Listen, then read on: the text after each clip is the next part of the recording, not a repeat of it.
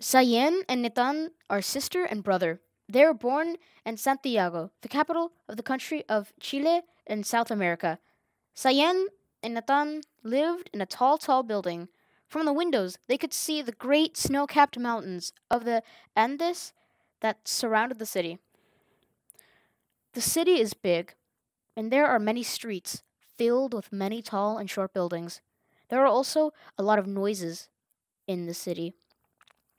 On the streets are many, many honking cars. The children's father is an Adventist pastor. Almost every Sabbath, he preached a sermon. Sometimes he preached at a big Pathfinder campout. One day, father received a very important telephone call. He was invited to go to another country to serve as a missionary. Of course, he wouldn't leave mother behind. Of course, he and mother wouldn't leave Sayen and Natan behind. The whole family was invited to move to the country Uruguay to serve as missionaries. Everyone was very happy when they heard the news. What would it be like to live in a different city? Natan wondered. What would it be like to live in a different country? Sayen wondered. Soon the children had to sell and get rid of all their things, even a lot of their clothes, books, and toys. We don't have room to take everything with us, father said. Let's take only what we really, really need, mother said. It was not easy, but father, mother, Sayen, and Natan could only take one suitcase each, and they could only take what they could fit into their suitcases.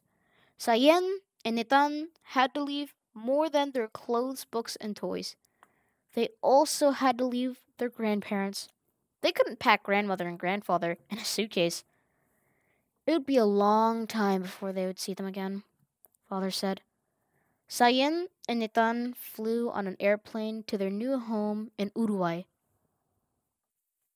What will it be like to live in a different city? Natan wondered. What will it be like to live in a different country? Sayen wondered. They soon found out, unlike Chile, with its snowy mountains, everything in Uruguay was green. The family moved into a house near a large river. Nowadays, while father is working, Sayen and Natan go out with mother to explore the river and the green parks near the river. Mother likes to draw pictures of nature, and Sayen and Natan are her best helpers.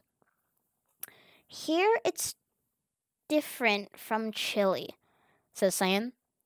It's very hot and it rains very hard, says Natan. The children have learned to be brave and not to be afraid when a storm starts and the lightning flashes and the thunder roars. They know that God and his angels are taking care of them. In their new town, there is an Adventist school, a small blue school. Sayen and Natan really enjoy going to school. They have made new friends at school, and they play and learn with them. Being a missionary is a fun adventure. Thank you so much for your Sabbath School mission offering that helps mission schools like Sayen and Natan's teach many children about Jesus.